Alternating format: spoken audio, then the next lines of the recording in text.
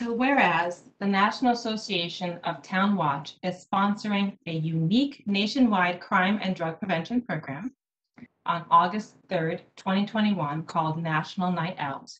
And whereas the 38th Annual National Night Out provides a unique opportunity for Rockville residents to join forces with thousands of other communities across the country to promote cooperative police, community crime, and drug drug prevention efforts. And whereas the residents of Rockville's communities play a vital role in assisting the Rockville City Police Department through joint crime, drug, and violence prevention efforts in the city and are supporting National Night Out 2021 locally.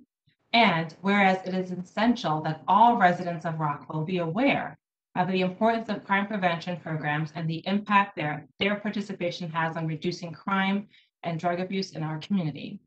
And now, therefore, the mayor and council do hereby proclaim August 3rd, 2021 as National Night Out and urge all Rockville community to be a part of this special observance and participate in the fight against crime. And I would also say in making friendships uh, with neighbors.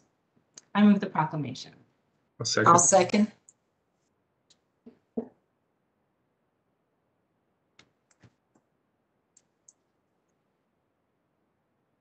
Madam Mayor, you're muted. You're muted.